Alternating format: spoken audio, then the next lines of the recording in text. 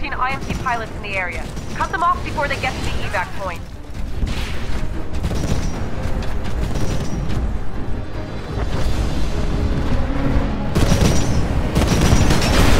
The enemy dropship is here. Take it out.